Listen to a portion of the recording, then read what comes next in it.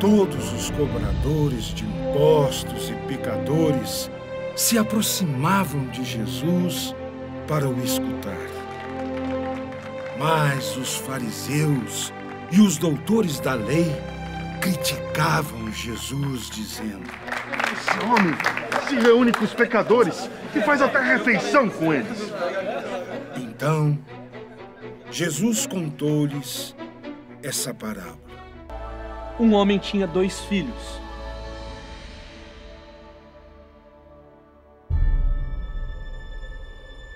O filho mais novo disse ao pai: Pai, dá-me a parte da herança que me cabe.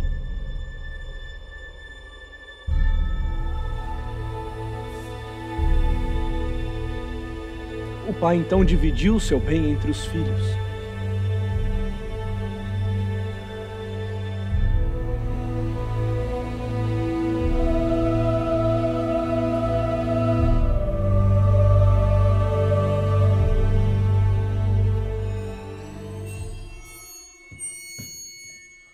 Poucos dias depois,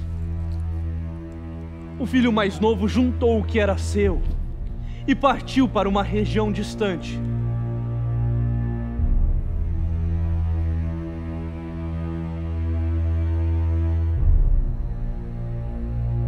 Onde gastou todos os seus bens numa vida desenfreada.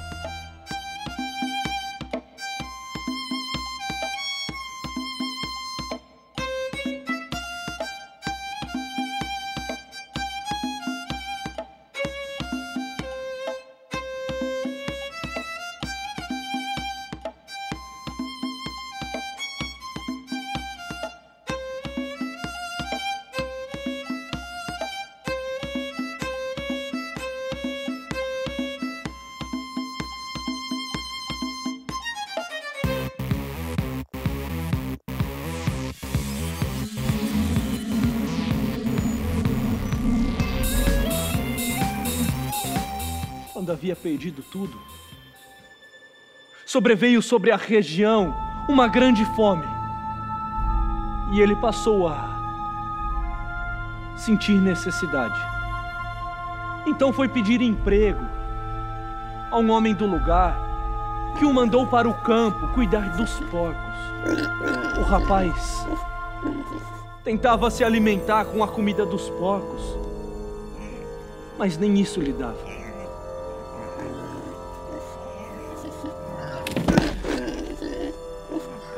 Então ele caiu em si e disse: Eu vou embora! Eu vou voltar pro meu pai. Ia dizer: Pai! Eu pequei contra Deus. E pequei contra ti. Eu mereço mais ser tratado como seu filho. Trata-me como um de seus empregados.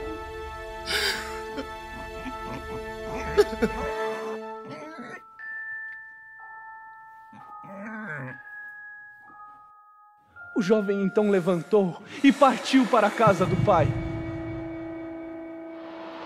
Quando estava chegando, o pai o avistou e sentiu compaixão.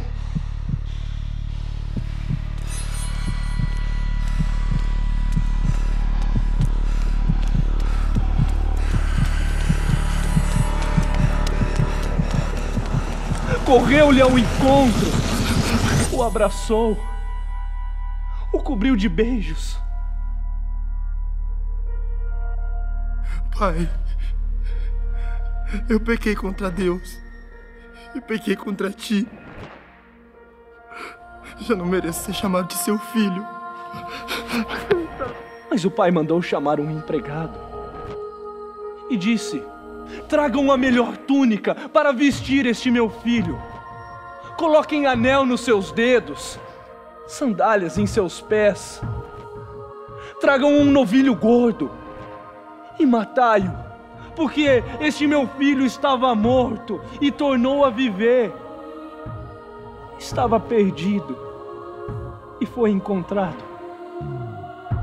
E iniciaram a festa. O filho mais velho estava no campo trabalhando. Ao voltar, ao chegar perto de casa, ouviu música e barulho de festa. Chamou um dos empregados e perguntou o que estava acontecendo. O que está acontecendo aqui? Seu pai matou um novilho gordo porque recuperou seu irmão com saúde. Sai daqui! Mas o irmão mais velho se irritou e não queria entrar. O pai saindo foi ao encontro do filho mais velho e insistia para que entrasse. Mas este filho disse: Eu trabalho para ti há tantos anos. Jamais desobedeci a qualquer ordem tua. E tu nunca me deste um cabrito para eu festejar com meus amigos. Quando chegou esse teu filho, que esbanjou teus bens com prostitutas, matas para ele o um novilho cevado. Filho, sempre estiveste comigo. Tudo que é meu é teu. É preciso festejar, alegrarmos. O teu irmão estava morto e voltou a viver. Ele estava perdido e foi encontrado.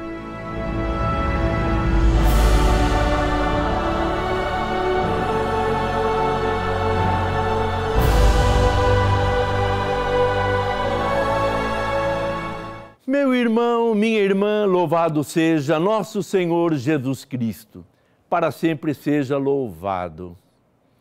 E hoje, neste terceiro domingo da quaresma do ano C, queremos louvar o Senhor por uma parábola belíssima que ele contou. Aliás, as parábolas são sempre bonitas, mas esta que é proclamada hoje, que nós vimos na encenação do filho pródigo, esta é realmente uma história especial, onde Jesus colocou toda a sua criatividade e mostrou todo o carinho que ele e o Pai têm por nós.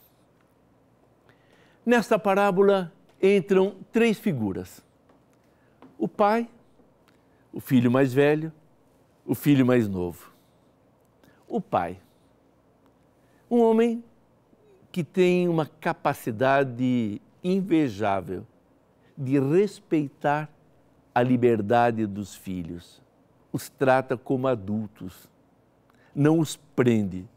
Quer tê-los sim ao seu lado, mas por convicção deles.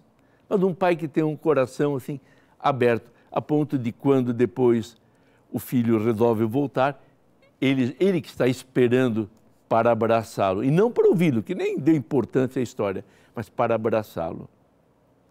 Temos também o filho mais velho, uma pessoa cumpridora dos deveres, exata, aquilo que a gente diria, um filho certinho. Fazia tudo que era obrigado. Mas ao mesmo tempo, um filho que esperava a retribuição. Eu faço isso, espero aquilo. E temos o filho mais novo, que dá o nome à parábola, filho pródigo. Pródigo é aquele esbanjador, aquele que gasta sem pensar de forma até irresponsável. E ele decide partir partir para uma aventura. Por quê? Não tinha liberdade na casa do pai? Tudo indica que tinha, se o pai deixa até partir. Mas talvez aquele espírito de aventura, de sempre ficar imaginando, ah, lá que eu vou ser feliz. Não é também aquilo que muitas vezes nós experimentamos? Sim, o pecado sempre aparece diante de nós como aquela possibilidade de ter o máximo de felicidade, no mínimo de tempo, uma felicidade intensa, profunda, e queremos fazer aquela experiência. Quando alguém se deixa conduzir pelo caminho da droga, no fundo, o que, está pensando? Eu vou fazer essa experiência, eu vou me drogar, vou tomar tal pílula, aí eu vou sentir o máximo de felicidade e felicidade duradoura. Quando alguém busca qualquer tipo de pecado, sempre pensa, ali, fazendo aquilo, finalmente eu vou conseguir aquilo que o meu coração tanto deseja. E a pessoa faz E qual é o resultado? Aquela decepção sentida pelo filho quando acabou o dinheiro. Enquanto tinha o dinheiro, era uma festa, tinha os amigos. Acabou o dinheiro, os amigos desapareceram. Ficou ele com a sua verdade. Então, essa história do filho pródigo é um pouco a história de cada um de nós. É de ver com quem você se identifica mais. Com o pai, aquela bondade, aquela capacidade de trabalhar para o outro e deixar o outro crescer. Você, ou então você é aquele filho certinho, mas que também quer uma resposta à altura do seu comportamento, daquele comportamento que você julga adequado. Ou você é o filho pródigo, sempre sonhando com a felicidade mais profunda, aquela que ainda não experimentou, sempre sonhando com uma vida plena e, em vista disso, é capaz de largar sua vida, seus projetos e tudo. Não é isso que acontece quando, por exemplo, dá um exemplo aqui, um pai que tem dois filhos, três ou quatro, de repente deixa a sua esposa, deixa os filhos para se, eh, se unir a uma outra pessoa que conheceu. Ele acha que não vai ser feliz se não viver agora em função dessa nova proposta. A esposa, os filhos, ah, esse é problema deles. Ah, eu tenho o direito de ser feliz. Que direito? Mas é aquela ideia de que sem aquela experiência eu não vou ser feliz. Não nos deixeis, Senhor, cair em tentação. Anunciamos Jesus, vai para o